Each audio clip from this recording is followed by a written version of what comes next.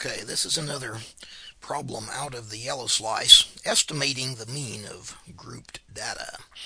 Oftentimes I will call this one getting the mean from the histogram. And it is an estimate because we don't actually have all of the numbers anymore.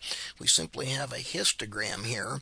We simply know that there, in this case, in this bar, that there are two numbers in there somewhere between 200 and 400, but we don't know just what they are. The data's been lost.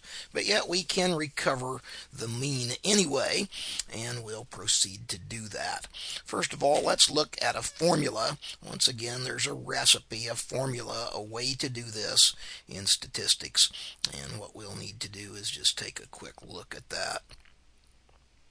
The mean then is going to be calculated by adding or summing up a series of things, and that series of things is always going to be comprised by taking the height of each bar and multiplying that by the midpoint of each bar. So let's go back and take a look at our first bar to get us started. Notice that our first bar has a height, I call it. Uh, ALEKS may call this the frequency, which of course it is, but the height of the bar. And then we will multiply that times the midpoint of the bar.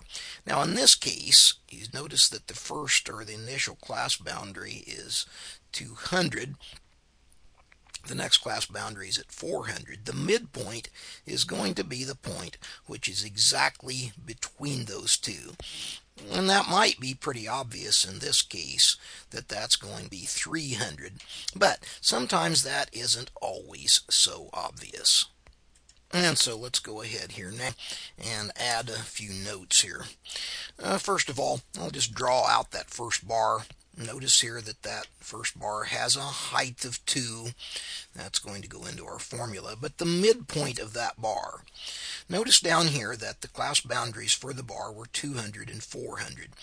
Now, maybe you can just look at that and see in this case that that's 300 halfway between the two. But sometimes these numbers are decimal, sometimes they're harder. And so here's what you do. You simply take your first uh, class boundary, the 200.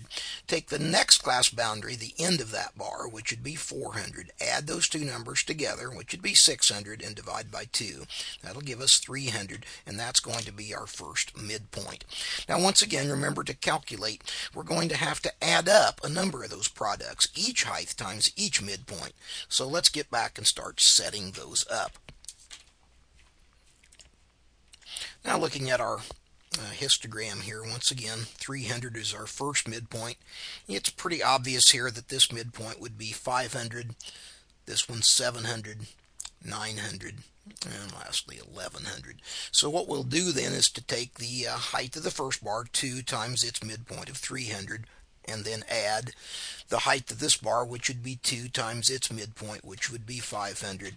And uh, I've done that already over in this step. So 2 times 300 plus 2 times 500 plus 2 times 700 plus 8 times 900 plus 1 times 1100.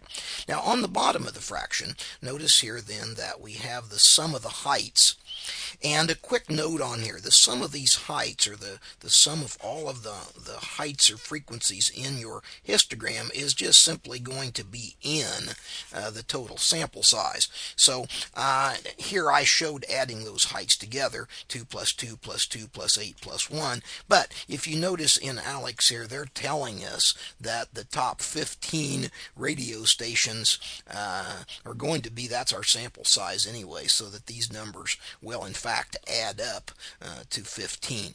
So let's go ahead and do a little bit of work back here uh, add a step to this problem and let's start crunching uh, out some of the math. Okay, so we're making some progress here. The 2 times 300 is 600.